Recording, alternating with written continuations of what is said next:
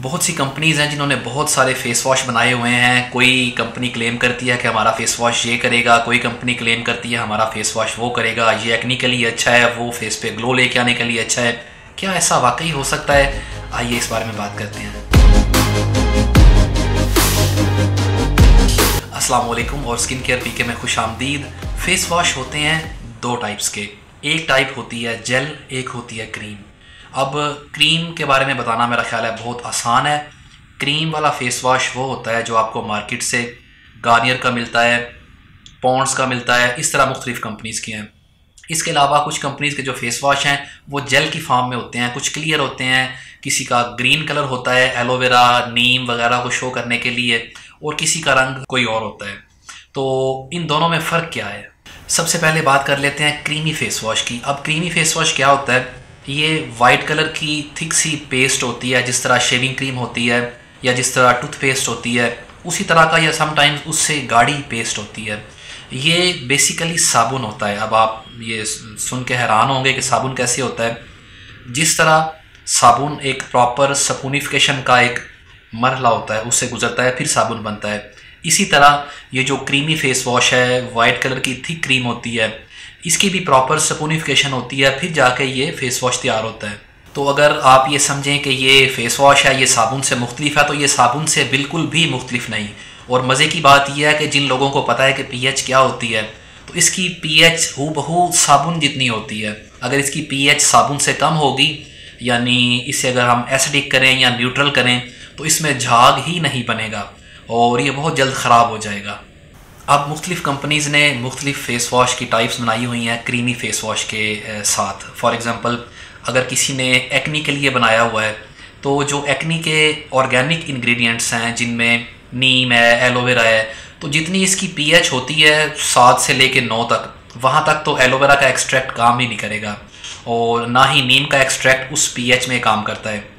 इसके अलावा, अगर किसी ने सेलिसिलिक एसिड ऐड किया हुआ है इस क्रीमी फेस वॉश में जो साबुन होता है बेसिकली तो इतनी हाई पीएच पे जो अल्कलाइन पीएच है, वहाँ पे भी सैलिसिलिक एसिड काम नहीं करेगा। तो हो सकता है कुछ फार्मूलेशंस थोड़ा बहुत आपको कुछ फ़ायदा दें, कुछ रिजल्ट्स दें, लेकिन मेरे एक्सपीरियंस के मुताबिक, मेरी टेस्टिंग के मुताबिक और मेरी रिसर्च के मुताबिक, क्योंकि मैं खुद ये प्रोडक्ट्स बनाता हूँ। तो जिन जो क्रीमी फेस वॉश जो क्रीम की तरह होते हैं बेसिकली वो साबुन होते हैं वो ये क्लेम करें कि वो लिए अच्छी हैं, फ़लाँ फ़लाँ फ़लाँ तो मेरे ख्याल में इसके पीछे कोई सच्चाई नहीं है, ये जस्ट मार्केटिंग गिमिक्स हैं। और जहाँ तक ग्लो लेके आने की बात है तो ऑब्वियसली जब आप फेस वॉश करते हैं, कोई भी साबुन से, किसी भी चीज़ से तो टेम्परेली चेहरा धोने के बाद थोड़ा बहुत चेहरे पे ग्लो आ जाता है तो आपको फील होता है कि जी फेस पे वाइटनिंग आ गई है। लेकिन वो एक टेम्प्रेरी सा इफ़ेक्ट होता है। इसमें नो डाउट कि जो आपकी स्किन है वो अच्छे तरीके से साफ़ हो जाती है स्किन पे डस्ट होती है समटाइम्स अगर आप बाहर जाएँ तो रोड पे धुआँ होता है, गाड़ियों का कार्बन होता है डस्ट होती है स्किन की सफ़ाई अच्छी हो जाती है। लेकिन जो क्रीमी फेस वॉश है, ये स्किन की वैसे सफ़ाई नहीं करता जिस तरह जेल फेस वॉश करता है। उसके बारे में आगे जाके बात करते हैं। इसके साथ साथ ये बात कर लेते हैं कि कौन सी skin types creamy face wash use कर सकते हैं तो वैसे तो सभी यूज़ करते हैं। लेकिन मैं ये सजेस्ट करूँगा कि जिनको एक्नी है, वो ये क्रीमी फेस वॉश साबुन की तरह जो वाइट क्रीम होती है, ये इस्तेमाल ना करें। और जिनकी स्किन एक्स्ट्रा सेंसिटिव है, वो भी ये क्रीमी फेस वॉश इस्तेमाल ना करें, क्योंकि इससे उनकी स्किन पे ड्राइनेस हो सकती है और मुख्तलिफ़ मसले मसाइल हो सकते हैं। लिहाजा जो नॉर्मल स्किन टाइप्स हैं जिनकी स्किन पे कुछ केमिकल्स के इतने असरात नहीं होते, वो इसे ईज़िली इस्तेमाल कर सकते हैं। जेल फेस वॉश पे बात करने से पहले मैं आपको ये बताना ज़रूरी समझता हूँ कि मार्केट में इतनी फ़ेक प्रोडक्ट्स पड़ी हुई हैं, इतनी फ़ेक प्रोडक्ट्स हैं स्पेशली जेल फेस वॉश जिनमें इंडियन फेस वॉश है हिमालय, और इस तरह के मुख्तलिफ़ जो ब्रांड्स हैं जो पाकिस्तान में मौजूद नहीं हैं।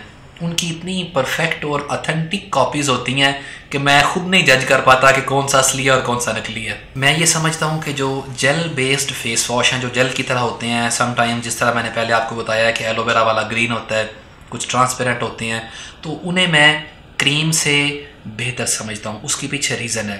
रीज़न ये है कि इसकी हम पीएच को कंट्रोल कर सकते हैं। अब इसकी पीएच उतनी हाई नहीं होती जितनी हाई क्रीमी फेस वॉश की होती है। उसका हमें फ़ायदा ये होता है कि जो एक्टिव इंग्रेडिएंट्स हैं, जिस तरह एलोवेरा का एक्सट्रैक्ट है नीम एक्सट्रैक्ट है एक्नी के लिए फॉर एग्ज़ाम्पल सैलिसिलिक एसिड है, और मुख्तलिफ़ जो वाइटनिंग इंग्रेडिएंट्स हैं, जो आपको फेस पे इंस्टेंटली ग्लो लेके आते हैं, वो इस पीएच रेंज पे अपना काम करते हैं। तो उसके साथ साथ जो फेस की क्लेंजिंग है, वो क्रीमी फेस वॉश की नस्बत जेल फेस वॉश से बहुत अच्छी होती है। नंबर वन उसमें ये है कि इसमें सरफेक्टेंट्स होते हैं जो डायरेक्टली स्किन पे काम करते हैं। फॉर एग्ज़ाम्पल मोस्टली जो जेल वाले फेस वॉश हैं, उनमें सल्फेट्स होते हैं। कुछ कंपनी सल्फेट्स इस्तेमाल नहीं करती। जिनमें होते भी हैं तो बहुत कम होते हैं। तो स्किन पे ऐसा कोई वो मसला मसाइल नहीं करने वाले। तो जेल फेस वॉश से स्किन की क्लेंजिंग बहुत अच्छी हो जाती है। अगर आप जेल फेस वॉश दिन में दो मरतबा इस्तेमाल करें तो आपको क्लेंजिंग जो सेपरेटली क्लेंजर होता है, वो आपको करने की ज़रूरत नहीं पेश आती। अब इन दोनों फेस वॉशेस के बारे में मैं एक ख़ास बात करना चाह रहा हूँ। तफसीलात तो बहुत लंबी है, लेकिन वीडियो भी लंबी हो जाएगी। तो वो ख़ास बात यह है कि जितने भी एक्टिव इंग्रेडिएंट्स होते हैं फॉर एग्ज़ाम्पल मैं आपको आसान सी मसाले दे रहा हूँ एक्नी की या फेस पे ग्लो लेके आने के मतलब तो जितने भी होते हैं इंग्रेडिएंट्स या जो चीज़ें ये काम करती हैं उन्हें स्किन पे लगा रहना चाहिए। फॉर एग्ज़ाम्पल ऐसी चीज़ें अगर हम क्रीम में डालते हैं, वो स्किन पे लगी रहती है दो घंटे, तीन घंटे तो फिर ये चीज़ें अपना काम सही से करती हैं। फेस वॉश हम करते हैं मे बी बीस सेकेंड के बाद, तीस सेकेंड के बाद। ज़्यादा अगर हम मलना शुरू कर दें तो एक मिनट के बाद हम फेस वॉश कर लेंगे। तो एक मिनट के दौरान ये चीज़ें वो काम नहीं कर सकती। बनस्बत अगर हम मुवजना करें कंपैरिजन करें या मुकाबला करें ये चीज़ें ज़्यादा टाइम के लिए क्रीम की तरह सीरम की तरह फेस पे लगी रहें, फिर ये चीज़ें अपना असर दिखाती हैं। तो लेकिन इसमें थोड़ी सी एक्सेप्शन भी है। फॉर एग्जांपल अगर एक्नी के लिए फेस वॉश है सैलिसिलिक एसिड वाला, जो कि मैंने खुद तैयार किया था और अब भी बना रहा हूँ, बहुत अच्छा है। तो वो कुछ ना कुछ अपने रिजल्ट्स देता है। सुबह शाम अगर मतलब वो उससे फेस वॉश करें रिजल्ट्स उसके वाज रिजल्ट्स नज़र आते हैं, लेकिन बेहतर ये होगा कि हम वो चीज़, अगर सेलिसिलिक एसिड है तो उसको सीरम में ऐड करें क्रीम में ऐड करें। जितना टाइम वो चीज़ स्किन पर लगी रहेगी उसके बेनिफिट्स उतने ज़्यादा बढ़ जाएँगे। तो कोई भी फेस वॉश परचेज़ करने से पहले अपनी स्किन टाइप देख लिया करें और अपनी जेब भी देख लिया करें, क्योंकि महँगाई हो गई है और फेस वॉश भी काफ़ी महँगे हो गए हैं। इम्पोर्टेड तो बहुत ही महँगे हैं, जो लोकली हमारे पास अवेलेबल हैं पॉन्ड्स गार्नियर इस तरह के मुख्तलिफ़ ब्रांड्स तो उनकी भी कीमतें बढ़ गई हैं। अब क्या करें? डॉलर जो है वो महँगा हो गया है हमारा। पाकिस्तानी रुपया बहुत नीचे आ गया है। तो ये थी आज की हमारी छोटी सी इन्फॉर्मेटिव वीडियो फेस वॉशेस के बारे में। इनकी तफसीलात तो बहुत लंबी हैं। इन पर मैं जितनी बात करूँ, उतनी बात लंबी हो जाएगी। लेकिन मुझे यकीन है कि आपको मेरी बातों का आइडिया हो गया होगा कि आखिर ये चीज़ क्या है।